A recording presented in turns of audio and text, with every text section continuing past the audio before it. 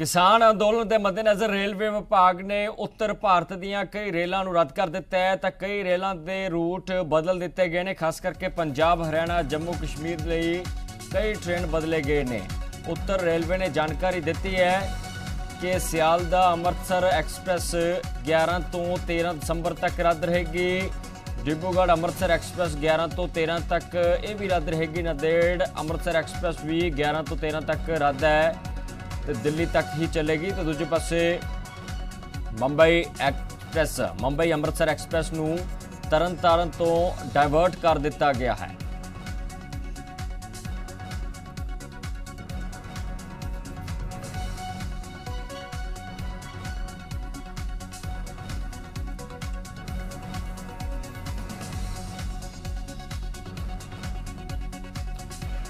ਕਈ ਰੇਲਾਂ ਨੂੰ ਡਾਇਵਰਟ ਕੀਤਾ ਗਿਆ ਹੈ।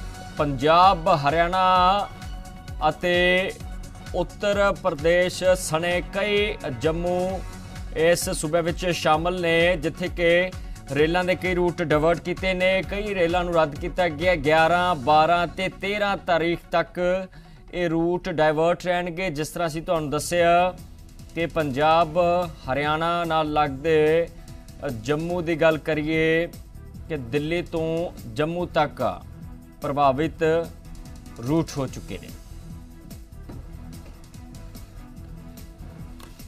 ਤੇ ਇਸੇ ਖਬਰ ਤੇ ਜਾਣਕਾਰੀ ਦੇਣ ਦੇ ਲਈ ਸਿੰਘ ਬਾਰਡਰ ਤੋਂ ਸਾਡੇ ਪੱਤਰਕਾਰ ਨਿਤਿਕਾ ਮਹੇਸ਼ਵਰੀ ਸਾਡੇ ਨਾਲ ਜੁੜ ਚੁੱਕੇ ਨੇ। ਨਿਤਿਕਾ, ਕੀ ਦੇਖਿਆ ਜਾਵੇ, ਹੁਣ ਤਾਂ ਰੂਟ ਵੀ ਡਾਇਵਰਟ ਕੀਤੇ ਗਏ ਨੇ। ਉੱਤਰ ਭਾਰਤ ਨੂੰ ਜਾਂਦੀਆਂ ਕਈ ਟ੍ਰੇਨਾਂ ਨੂੰ ਰੱਦ ਕੀਤਾ ਗਿਆ ਹੈ। ਕਿਸਾਨ ਅਤੇ ਸਰਕਾਰ, ਆਖਿਰਕਾਰ ਗੱਲ ਕਿੱਥੇ ਜਾ ਕੇ ਖੜੇਗੀ?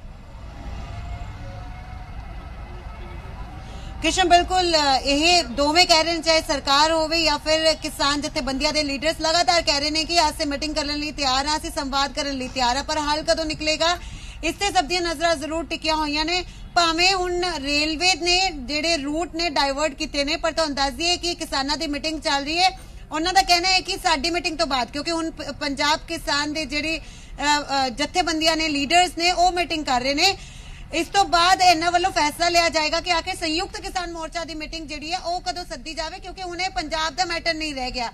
ਉਹਨਾਂ ਦਾ ਕਹਿਣਾ ਨਾ ਸਿਰਫ ਅਸੀਂ ਪੰਜਾਬ ਹਰਿਆਣਾ ਦੇ ਰੇਲਵੇ ਟਰੈਕਸ ਤੇ ਬੈਠਾਂਗੇ, ਬਲਕਿ ਭਾਰਤ ਭਰ ਦੇ ਰੇਲਵੇ ਟਰੈਕਸ ਤੇ ਅਸੀਂ ਬੈਠਾਂਗੇ। ਫਿਲਹਾਲ ਰਣਨੀਤੀ ਜਿਹੜੀ ਹੈ, ਉਹ ਤਿਆਰ ਕੀਤੀ ਜਾ ਰਹੀ ਹੈ। ਸਾਡੇ ਨਾਲ ਤੁਸੀਂ ਦੇਖੋਗੇ, ਅਲੱਗ-ਅਲੱਗ ਥਾਵਾਂ ਤੋਂ ਕਿਸਾਨ ਆਏ ਹੋਏ ਨੇ, ਉਹਨਾਂ ਦੇ ਹਿਮਾਇਤੀ ਆਏ ਹੋਏ ਨੇ।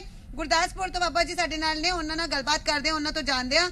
ਆਖਿਰ ਕਿਸ ਤਰ੍ਹਾਂ ਦੇਖਦੇ ਨੇ, ਲੱਗਦਾ ਕੋਈ ਹੱਲ ਨਿਕਲ ਪਾਏਗਾ ਜਾਂ ਨਹੀਂ? ਤੇ ਨਾਲ ਹੀ ਲੱਗਦਾ ਹੈ ਕਿ ਸੰਵਾਦ ਬਣਿਆ ਰਹਿਣਾ ਜ਼ਰੂਰੀ ਹੈ। ਪਹਿਲੀ ਗੱਲ ਤੇ ਹੱਲ ਨਿਕਲਦੀ ਆ। ਇਹ 101% ਜਿਹੜਾ ਇਹ ਹੱਲ ਹੋਏਗਾ। ਜਿਹੜੇ ਕਿਸਾਨ ਆਪਣੇ ਹੱਕ ਲੈਣ ਵਾਸਤੇ ਅੱਜ ਆਪਣੇ ਘਰਾਂ ਤੋਂ ਨਿਕਲੇ ਨੇ, ਆਪਣੇ ਪਰਿਵਾਰਾਂ ਨੂੰ, ਆਪਣੇ ਬੱਚਿਆਂ ਨੂੰ ਨਾਲ ਲੈ ਕੇ ਇੱਥੇ ਰੋਡ ਦੇ ਉੱਤੇ ਆ ਕੇ ਬੈਠੇ ਨੇ, ਲੇਕਿਨ ਜਿਹੜੇ ਸੰਕੇਤ ਮਿਲ ਰਹੇ ਨੇ, ਉਹ ਹੱਲ ਜਿਹੜਾ ਵਾ ਉਹ ਅਵਸ਼ ਹੋਏਗਾ।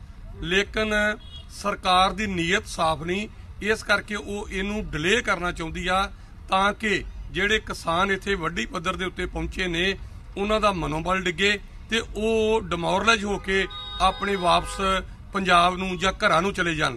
ਲੇਕਿਨ ਮੈਂ ਮਹਿਸੂਸ ਕਰਦਾ ਏ ਕਿ ਇਹ ਸਰਕਾਰ ਦੀ ਗਲਤ ਸੋਚਣੀ ਏ। ਜਿਉਂ-ਜਿਉਂ ਇਹ ਸੰਘਰਸ਼ ਲੰਮਾ ਹੋ ਰਿਹਾ ਏ, ਤਿਉਂ-ਤਿਉਂ ਕਿਸਾਨਾਂ ਦਾ ਗੁੱਸਾ ਵੱਧ ਰਿਹਾ ਏ। ਪੰਜਾਬ ਦੇ ਮੁੱਠੀ ਪਰ ਕਿਸਾਨਾਂ ਨੇ ਡੰਕੇ ਦੀ ਚੋਟ ਤੇ ਇਹ ਸੰਘਰਸ਼ ਸ਼ੁਰੂ ਕੀਤਾ ਸੀਗਾ ਤੇ ਤੁਸੀਂ ਅੱਜ ਦੇਖਦੇ ਜੇ ਕਿ ਪੂਰੇ ਭਾਰਤ ਦੇ ਕਿਸਾਨ ਜਿਹੜੇ ਨੇ, ਉਹ ਇਹਦੇ ਲਈ ਲਾਮਬੰਦ ਹੋ ਚੁੱਕੇ ਨੇ। ਇਸ ਤਰ੍ਹਾਂ ਹੀ ਜੇ ਇਹ ਗੱਲ ਹੋਰ ਲਮਕੀ ਤੇ ਸਰਕਾਰ ਦੀ ਆਸ ਦੇ ਉਲਟ ਇਹ ਸੰਘਰਸ਼ ਦੇ ਅੰਦਰ ਹੋਰ ਰੋਸ ਪੈਦਾ ਹੋਏਗਾ ਤੇ ਇਹ ਸੰਘਰਸ਼ ਤਿੱਖਾ ਹੋਵੇਗਾ। ਅੱਛਾ, ਰੇਲ ਰੋਕੋ ਅੰਦੋਲਨ ਦੀ ਜੇ ਗੱਲ ਕਰੀਏ, ਰਣਨੀਤੀ ਜਿਹੜੀ ਹੈ ਤਿਆਰ ਕੀਤੀ ਜਾ ਰਹੀ ਹੈ। ਤੁਹਾਨੂੰ ਲੱਗਦਾ ਹੈ ਕਿ ਇਸ ਨਾਲ ਆਮ ਲੋਕਾਂ ਨੂੰ ਵੀ ਪਰੇਸ਼ਾਨੀ ਜਿਹੜੀ ਹੈ ਜ਼ਰੂਰ ਝੇਲਣੀ ਪਏਗੀ? ਜਦਕਿ ਕਿਸਾਨ ਕਹਿ ਰਹੇ ਸੀ ਕਿ ਵੀ ਅਸੀਂ ਪੀਸਫੁਲ ਪ੍ਰੋਟੈਸਟ ਹੀ ਕਰਾਂਗੇ। ਪਰ ਇਹ ਕਰਨਾ ਪੈ ਰਿਹਾ ਹੈ। ਬਿਲਕੁਲ ਆਮ ਪਬਲਿਕ ਨੂੰ ਤੇ ਪਰੇਸ਼ਾਨੀ ਹੋ ਹੀ ਰਹੀ ਹੈ ਲੇਕਿਨ ਮੇਨ ਕਿਸਾਨੀ ਦਾ ਮਸਲਾ ਸਾਰੇ ਲੋਕਾਂ ਨੂੰ ਸਪੋਰਟ ਕਰਨੀ ਚਾਹੀਦੀ ਹੈ ਕਿ ਜਿੰਨੀ ਜਲਦੀ ਗਵਰਨਮੈਂਟ ਇਹ ਮਸਲਾ ਹੱਲ ਕਰੇਗੀ ਉਨੀ ਜਲਦੀ ਸਾਰਿਆਂ ਨੂੰ ਰਾਹਤ ਮਿਲੇਗੀ। ਸਪੋਰਟ ਤਾਂ ਲਗਾਤਾਰ ਜਿਹੜਾ ਕੀਤਾ ਜਾ ਰਿਹਾ ਹੈ। ਪਹਿਲਾਂ ਜਦੋਂ ਪੰਜਾਬ ਦੇ ਵਿੱਚ ਰੇਲਵੇ ਟਰੈਕਸ ਤੇ ਜਿਹੜੇ ਨੇ ਕਿਸਾਨ ਬੈਠੇ ਸੀਗੇ ਉਦੋਂ ਉਦੋਂ ਜਦੋਂ ਰੇਲਵੇ ਟਰੈਕਸ ਤੇ ਬੈਠੇ ਸੀਗੇ ਉਦੋਂ ਸਭ ਤੋਂ ਜ਼ਿਆਦਾ ਪ੍ਰਭਾਵਿਤ ਜਿਹੜਾ ਹੋਇਆ ਸੀ ਉਹ ਪੰਜਾਬ ਹੋਇਆ ਸੀ। ਸਭ ਤੋਂ ਜ਼ਿਆਦਾ ਪੰਜਾਬ ਤੇ ਅਸਰ ਪਿਆ ਸੀ। ਹੁਣ ਤੁਹਾਨੂੰ ਕੀ ਲੱਗਦਾ ਹੈ ਕਿ ਜੇ ਪੂਰੇ ਦੇਸ਼ ਭਰ ਦੇ ਰੇਲਵੇ ਟਰੈਕਸ ਤੇ ਕਿਸਾਨ ਬੈਠ ਗਏ, ਤਾਂ ਤੁਹਾਨੂੰ ਲੱਗਦਾ ਹੈ ਕਿ ਪੂਰੇ ਦੇਸ਼ ਤੇ ਅਸਰ ਪਏਗਾ? ਫਿਰ ਕੇਂਦਰ ਸਰਕਾਰ ਜਿਹੜੀ ਹੈ, ਇਸ ਜਿਹੜੇ ਇਸ ਕਿਸਾਨਾਂ ਦੀਆਂ ਇਹਨਾਂ ਮੰਗਾਂ ਨੂੰ ਜਲਦੀ ਸੁਲਝਾਉਣ ਦੀ ਕੋਸ਼ਿਸ਼ ਕਰੇਗੀ? ਨਹੀਂ ਜੀ, ਪ੍ਰਭਾਵ ਮੈਂ ਤਾਂ ਨਹੀਂ ਜਥੇਬੰਦੀਆਂ ਨਹੀਂ ਚਾਹੁੰਦੀਆਂ ਵੀ ਪ੍ਰਭਾਵ ਕਿਸੇ ਨੂੰ ਵੀ ਪਵੇ। ਅਸੀਂ ਤੇ ਇਹਦਾ ਹੱਲ ਚਾਹੁੰਦੇ ਆ ਅਸੀਂ ਡੀਸੀ ਦਫ਼ਤਰਾਂ ਤੋਂ ਇਹ ਅੰਦੋਲਨ ਸ਼ੁਰੂ ਕੀਤਾ ਸੀ, ਜਿਹੜਾ ਸਰਕਾਰ ਸਾਡੇ ਕੋਲੋਂ ਜਿਹੜਾ ਅੰਦੋਲਨ ਆ, ਇਹ ਰੇਲ ਪਟਰੀਆਂ ਤੇ ਲੈ ਗਈ ਆ। ਹੁਣ ਵੀ ਅਸੀਂ ਇਹ ਨਹੀਂ ਚਾਹੁੰਦੇ ਵੀ ਸਾਡੇ ਪ੍ਰਭਾਵ ਕਿਸੇ ਤੇ ਪਵੇ। ਸਾਡੇ ਨਾਲ ਸਾਰਾ ਦੇਸ਼ ਨਹੀਂ ਵਿਦੇਸ਼ ਦਾ ਵੀ ਸਾਨੂੰ ਸਾਥ ਮਿਲ ਰਿਹਾ। ਸਾਰੇ ਜਿਹੜੇ ਵਰਗ ਆ, ਇਹਦੇ ਵਿੱਚ ਕਿਸੇ ਤਰ੍ਹਾਂ ਦਾ ਵੀ ਕੋਈ ਆਮ ਇਨਸਾਨ ਹੈ, ਉਹ ਸਾਡੇ ਨਾਲ ਮੋਢੇ ਨਾਲ ਮੋਢਾ ਜੋੜ ਕੇ ਖੜਾ ਵਾ। ਉਹ ਸਾਡੇ ਦਰਦ ਨੂੰ ਸਮਝਦੇ ਆ। ਜੇ ਸਾਡੀਆਂ ਕੋਈ ਜਥੇਬੰਦੀਆਂ ਨੇ ਆਉਣ ਵਾਲੇ ਦਿਨਾਂ ਵਿੱਚ ਕੋਈ ਫੈਸਲਾ ਲਿਆ, ਰੇਲ ਰੋਕਾਂ ਦਾ ਜਾਂ ਕੋਈ ਇਹਦਾ ਰੂਪਰੇਖਾ ਬਦਲੀ ਗਈ ਸੰਘਰਸ਼ ਦੀ, ਸਾਨੂੰ ਉਹਨਾਂ ਤੋਂ ਫੁੱਲ ਉਮੀਦ ਆ ਕਿ ਉਹ ਸਾਡੇ ਜਿੱਦਾਂ ਪਹਿਲਾਂ ਦਾ ਪਹਿਲਾਂ ਸਾਥ ਦਾ ਸਾਥ ਦਿੱਤਾ ਸਾਰੇ ਇਸ ਅੰਦੋਲਨ ਤੱਕ, ਅੱਜ ਤੱਕ ਉਹ ਸਾਡਾ ਫੁੱਲ ਸਾਥ ਦੇਣਗੇ। ਤੁਸੀਂ ਦੇਖੋਗੇ ਕਿ ਅਲੱਗ-ਅਲੱਗ ਥਾਵਾਂ ਤੋਂ ਕਿਸਾਨ ਨੇ ਉਹ ਲਗਾਤਾਰ ਪਹੁੰਚੇ ਉਹਨਾਂ ਦੇ ਹਿਮਾਇਤੀ ਨੇ ਲਗਾਤਾਰ ਪਹੁੰਚ ਰਹੇ ਨੇ ਅਸੀਂ ਤੁਹਾਨੂੰ ਪਹਿਲਾਂ ਵੀ ਦੱਸਿਆ ਸੀ ਕਿਸ਼ਨ 17 ਤੋਂ 18 ਕਿਲੋਮੀਟਰ ਤੱਕ ਇਸੇ ਤਰ੍ਹਾਂ ਟਰੈਕਟਰ ਟਰਾਲੀਆਂ ਜਿਹੜੀਆਂ ਨੇ ਖੜੀਆਂ ਨੇ ਨਾਲ ਹੀ ਤੁਹਾਨੂੰ ਦੱਸ ਦਈਏ ਕਿ ਹੁਣ ਕੱਲ ਦਾ ਸੱਦਾ ਵੀ ਦਿੱਤਾ ਗਿਆ ਹੈ ਕਿ ਜਿਹੜੇ ਦਿੱਲੀ ਦੇ ਨੇੜੇ ਜਿੰਨੇ ਵੀ ਸਟੇਟਸ ਪੈਂਦੇ ਨੇ ਉੱਥੇ ਦੇ ਲੋਕ ਵੀ ਨਿਕਲ ਕੇ ਸਾਹਮਣੇ ਆਣ ਕੱਲ ਪੂਰੇ ਭਾਰਤ ਦੇ ਵਿੱਚ ਜਿੰਨੇ ਵੀ ਟੋਲ ਪਲਾਜ਼ਾ ਨੇ ਉਹ ਫ੍ਰੀ ਰਹਿਣ ਵਾਲੇ ਨੇ ਨਾਲ ਹੀ ਹੋਰ ਕੁਝ ਕਿਸਾਨ ਨੇ ਉਹਨਾਂ ਨਾਲ ਵੀ ਗੱਲਬਾਤ ਕਰਦੇ ਨੇ ਉਹਨਾਂ ਤੋਂ ਪੁੱਛਦੇ ਆ ਕਿ ਆਖਿਰ ਕਦੋਂ ਤੱਕ ਹੱਲ ਨਿਕਲਦਾ ਹੋਇਆ ਨਜ਼ਰ ਆ ਰਿਹਾ ਹੈ, ਕਿਉਂਕਿ ਅੱਜ ਨਰਿੰਦਰ ਸਿੰਘ ਤੋਮਰ ਇਹ ਕਹਿ ਰਹੇ ਨੇ ਕਿ ਅਸੀਂ ਤਾਂ ਕਦੇ ਟੇਬਲ ਟਾਕ ਲਈ ਦਰਵਾਜ਼ੇ ਬੰਦ ਕੀਤੇ ਹੀ ਨਹੀਂ। ਅਸੀਂ ਕਹਿ ਰਹੇ ਟੇਬਲ ਟਾਕ ਹੋਣੀ ਚਾਹੀਦੀ। ਜੀ, ਉਹਨਾਂ ਦੀ ਦਿਮਾਗ ਵਿੱਚ ਨਾ ਗਲਤ ਫਹਿਮੀ ਹੈ ਵੀ ਸਰਕਾਰ ਮੰਨ ਕੇ ਚੱਲ ਜਾਏਗੀ। ਕਿਸਾਨ ਜਿਹੜੇ ਨੇ ਆਪਣੇ ਸੰਘਰਸ਼ ਵਾਸਤੇ ਜਾਰੀ ਆ। ਇਹਨਾਂ ਦਾ ਸੱਚੇ ਦਿਲ ਨਾਲ ਆਪਣਾ ਲੱਗੇ ਹੋਏ ਨੇ। ਇਹਨਾਂ ਦਾ ਮੰਨਣੀ ਚਾਹੀਦੀ ਮੰਗ ਜਿਹੜੀ ਮੰਨਣੀ ਚਾਹੀਦੀ। ਕਿਉਂਕਿ ਜੇ ਨਹੀਂ ਮੰਨਣਗੇ ਤੇ ਸਰਕਾਰ ਵੇਖੋ ਇਦਾਂ ਹੀ ਫਿਰ ਕੰਮ ਚੱਲਦਾ ਰਹੇਗਾ। ਹੁਣ ਲੱਗਦਾ ਹੈ ਕਿ ਕਾਨੂੰਨ ਨੂੰ ਚੰਗੀ ਤਰ੍ਹਾਂ ਸਮਝ ਗਏ ਨੇ ਕਿਸਾਨ। ਬਿਲਕੁਲ ਸਮਝ ਗਏ ਜੀ। ਕੋਈ ਸ਼ੱਕ ਨਹੀਂ ਰਹਿ ਗਿਆ।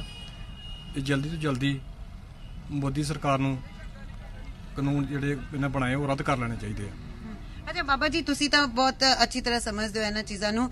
ਪਰ ਤੁਹਾਨੂੰ ਕੀ ਲੱਗਦਾ ਹੈ ਕਿ ਸੋਧ ਕਰਨ ਨਾਲ ਕੋਈ ਹੱਲ ਨਿਕਲ ਸਕਦਾ ਹੈ? ਤਾਂ ਮੰਨਣਾ ਚਾਹੀਦਾ ਹੈ ਅੜੀਅਲ ਰਵਈਆ ਚਾਹੇ ਸਰਕਾਰ ਦਾ ਹੋਵੇ ਚਾਹੇ ਕਿਸਾਨ ਜਥੇਬੰਦੀਆਂ ਦਾ ਹੋਵੇ ਉਹ ਕਿਤੇ ਨਾ ਕਿਤੇ ਹੱਲ ਉਸ ਨਾਲ ਨਹੀਂ ਨਿਕਲ ਪਾਏਗਾ। ਦੇਖੋ ਅੱਜ ਤੋਂ ਪਹਿਲਾਂ ਇਦਾਂ ਮਹਿਸੂਸ ਕੀਤਾ ਜਾਂਦਾ ਸੀਗਾ ਕਿ ਕਿਸਾਨਾਂ ਨੂੰ ਜੱਟ ਬੂਟ ਕਿਹਾ ਜਾਂਦਾ ਸੀਗਾ ਕਿ ਇਹ ਸੰਘਰਸ਼ ਤੇ ਲੜ ਸਕਦੇ ਨੇ, ਲੇਕਿਨ ਟੇਬਲ ਟਾਕ ਨਹੀਂ ਕਰ ਸਕਦੇ। ਲੇਕਿਨ ਤੁਸੀਂ ਦੇਖਿਆ ਕਿ ਪਿਛਲੇ ਸਮੇਂ ਦੇ ਵਿੱਚ ਸੈਂਟਰ ਸਰਕਾਰ ਦੇ ਨਾਲ ਕਿਸਾਨਾਂ ਦੀਆਂ ਮੀਟਿੰਗਾਂ ਹੋਈਆਂ, ਜਿਹਦੇ ਵਿੱਚ ਉਹਨਾਂ ਨੇ ਬੜੇ ਤਸੱਲੀ ਦੇ ਨਾਲ ਇਸ ਗੱਲ ਨੂੰ ਸਾਬਤ ਕੀਤਾ ਕਿ ਜਿਹੜੇ ਇਹ ਕਾਨੂੰਨ ਬਣਾਏ ਨੇ, ਇਹ ਕਾਨੂੰਨ ਕਿਸਾਨ ਮਾਰੂ ਨੇ। ਜਿਹੜੀ ਕਿ ਸੈਂਟਰ ਸਰਕਾਰ ਵੀ ਮੰਨੀ ਆ, ਤਦ ਕਰਕੇ ਉਹਦੇ ਮੰਨਣ ਤੋਂ ਬਾਅਦ ਇਹ ਗੱਲ ਸਾਹਮਣੇ ਆਈ ਏ ਕਿ ਅਸੀਂ ਸੋਧਾ ਕਰ ਦਿੰਨੇ ਆ। ਲੇਕਿਨ ਜਿਹੜੀ ਚੀਜ਼ ਹੀ ਗਲਤ ਹੈ ਉਹਦੇ 'ਚ ਸੋਧ ਕਰਨ ਦੀ ਕੀ ਜ਼ਰੂਰਤ ਏ? ਇਸ ਕਰਕੇ ਕਿਸਾਨ ਜਿੱਦ ਨਹੀਂ ਕਰ ਰਹੇ ਆਪਣਾ ਹੱਕ ਮੰਗ ਰਹੇ ਨੇ ਕਿ ਅਸੀਂ ਇਹ ਕਾਨੂੰਨ ਰੱਦ। ਕਰਾ ਕੇ ਹੀ ਵਾਪਸ ਜਾਵਾਂਗੇ। ਕਿਉਂਕਿ ਮੈਂ ਮਹਿਸੂਸ ਕਰਦਾ ਏ ਕਿ ਗੱਲ ਇਸ ਕਰਕੇ ਲੰਮੀ ਹੁੰਦੀ ਜਾ ਰਹੀ ਏ ਹਿੰਦੁਸਤਾਨ ਦੇ ਵਿੱਚ ਭਾਰਤ ਵਿੱਚ ਲੋਕਤੰਤਰ ਨਾਂ ਦੀ ਕੋਈ ਸਰਕਾਰ ਨਹੀਂ। ਇਹ ਤੇ ਮੋਦੀ ਤੇ ਅਮਿਤ ਸ਼ਾਹ ਜਿਹੜੇ ਨੇ ਕਾਰਪੋਰੇਟ ਘਰਾਣਿਆਂ ਦੇ ਚਾਕਰ ਨੇ ਨੌਕਰ ਨੇ। ਇਹ ਕਾਰਪੋਰੇਟ ਘਰਾਣਿਆਂ ਵੱਲੋਂ ਇਹ ਕਾਨੂੰਨ ਜਿਹੜਾ ਸੀਗਾ ਉਹ ਤਿਆਰ ਕੀਤਾ ਗਿਆ ਤੇ ਸਰਕਾਰ ਲਈ ਉਹਨਾਂ ਨੇ ਵੱਡੀ ਫੰਡਿੰਗ ਕੀਤੀ ਏ। ਇਹ ਸਰਕਾਰ ਹੋਣ ਦੇ ਵਿੱਚ ਲਿਆਂਦੀ ਏ। ਉਹਨਾਂ ਨੇ ਮੀਡੀਆ ਖਰੀਦਿਆ ਸੀਗਾ। ਸਾਰਾ ਪੈਸਾ ਡੈਮੋਕ੍ਰੇਸੀ ਡੈਮੋਕ੍ਰੇਸੀ ਨੂੰ ਲੈ ਕੇ ਇਹ ਸਵਾਲ ਚੁੱਕ ਰਹੇ ਨੇ ਬਿਲਕੁਲ ਅਸੀਂ ਦੇਖ ਰਹੇ ਹਾਂ ਨਿਤਿਕਾ ਕਿ ਰੋਸ ਪ੍ਰਦਰਸ਼ਨ ਤਾਂ ਲਗਾਤਾਰ ਚੱਲ ਹੀ ਰਹੇ ਨੇ ਪਰ ਇਹ ਕਿਸਾਨ ਇਕੱਲੇ ਪ੍ਰਦਰਸ਼ਨ ਹੀ ਨਹੀਂ ਕਰ ਰਹੇ ਇੱਕ ਅਜਿਹੀ ਜ਼ਿੰਦਗੀ ਜਿਉਣ ਨੂੰ ਮਜਬੂਰ ਨੇ ਨਾ ਕੋਈ ਸਹੂਲਤਾਂ ਨਾ ਕੋਈ ਪ੍ਰਬੰਧ। ਬਹੁਤ ਬਹੁਤ ਤੁਹਾਡਾ ਧੰਨਵਾਦ ਨਿਤਿਕਾ ਸਾਨੂੰ ਲਾਈਵ ਤਸਵੀਰਾਂ ਸਿੰਘ ਬਾਰਡਰ ਤੋਂ ਦਿਖਾਉਣ ਦੇ ਲਈ।